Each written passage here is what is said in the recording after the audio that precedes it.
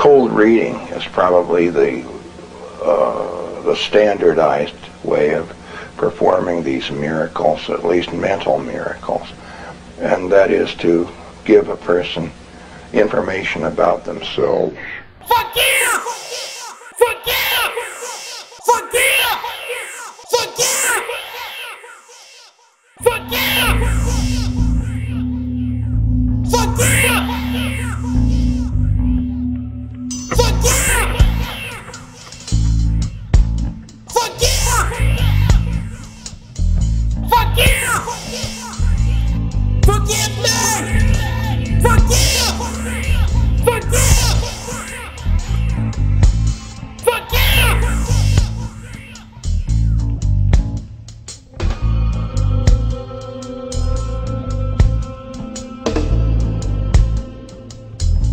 Forgiveness is not waiting for an apology. Somebody say, I will forgive them as soon as they say they're sorry. I hate to break it to you. Some people are never going to apologize.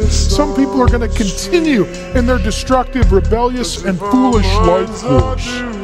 Some people will be stubborn and religious and self righteous, and they'll never confess or admit. Some people will move away, you'll never speak with them again. Some people will die before they articulate repentance. And so you forgive them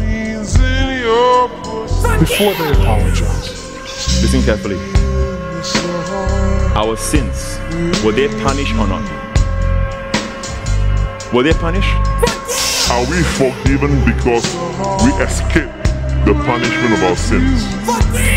No, our sins were punished, but in the body of another. Our sins were punished, that shows God's justice, but in the body of another, that shows God's love. Because it was God who sent Jesus. It was God who planned this. It is not the kind of love. God loves everybody, universal grace, universal love, everybody going to heaven, no hell.